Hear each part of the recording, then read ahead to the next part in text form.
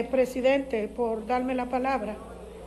Y queridos eh, diputados, yo estoy segura que los honorables estarán diciendo, ¿y por qué se quedó Lila y no se fue también Maldonado? Porque yo no soy cobarde.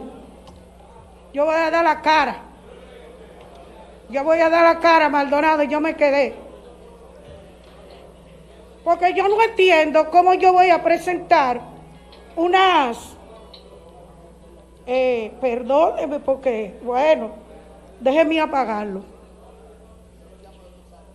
Eh, resulta que yo no estoy de acuerdo con presentar propuestas de modificación bien documentada, muy bien explicada y luego irse.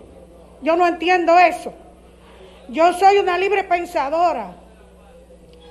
Yo soy diputada, sí, pero del pueblo. Yo soy una libre pensadora.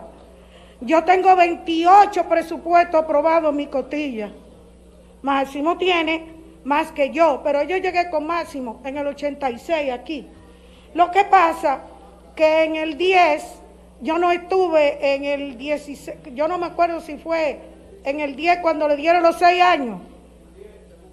En el 10 eh, yo me fui de embajadora y no estuve aquí y eso me quitó el récord. Pero yo tengo 28 presupuestos.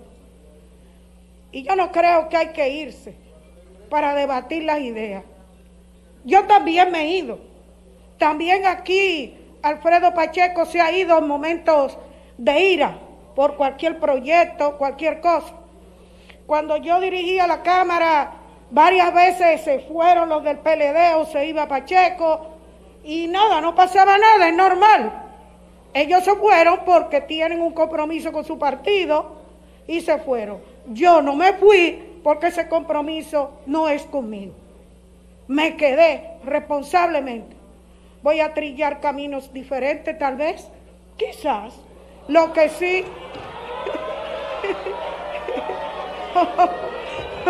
No, no, no. No, no, no. No. No. No, no, no. No. No. No. Bueno, eso es bueno, relajarse en medio de una tensión es bueno relajarse en medio de una tensión.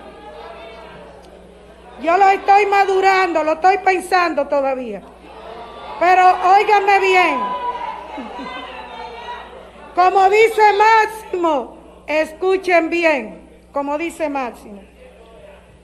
Un político, el que sea, X, un político que es político de verdad, cualquiera de nosotros, está en un lugar, producto de circunstancia. Luego termina la circunstancia y usted quiere volver a sus raíces. Punto. Punto. Entonces, eso viene máximo, tú lo sabes. Perdón. Entonces yo me quedé aquí repito, responsablemente me quedé, porque es que yo no estoy de acuerdo con llevar la política en medio de una pandemia, en medio de una situación, ahora hablando con seriedad, como la que está viviendo el país o como la que está viviendo el mundo. El mundo está viviendo momentos muy difíciles, el mundo, y lo que viene económicamente para la República Dominicana de enero para adelante será también muy difícil. Y yo lo que soy es dominicana.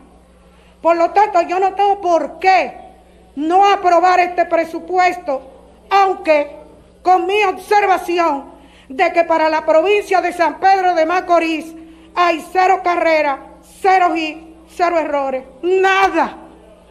Nueva vez San Pedro de Macorís se queda en la gatera. Yo no me podía ir por ahí sin decir eso.